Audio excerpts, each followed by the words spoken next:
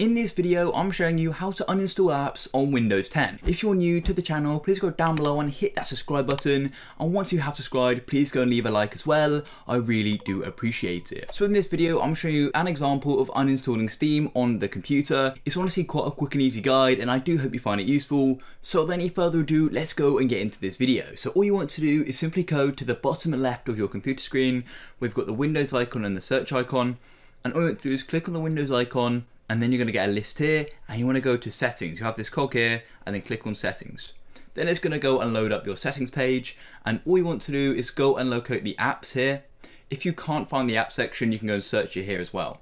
So click on apps and it's going to go and take you to apps and features and here it's going to go and list all of your apps. And if you couldn't find it from the settings homepage, all you want to do is come down to the search icon and simply go and search remove like so and you can click add or remove programs and it's going to take you to this exact page. So that's just an alternative if you can't find this page as well. So for example if I wanted to go and uninstall Steam all you want to do is click on search this list or I could scroll down and find Steam. But I'm just going to go and search for Steam like so and it's going to go and bring it up. And then all you want to do is click uninstall and you're going to get this pop up here saying this app and it's related info being uninstalled. So click uninstall. You'll get a Windows security pop up quite often. Then I'm going to have this uninstaller here then click uninstall and it's going to go and delete all the files and it may take a minute or two depending on how big the app is and then it's going to go and completely remove it from your computer.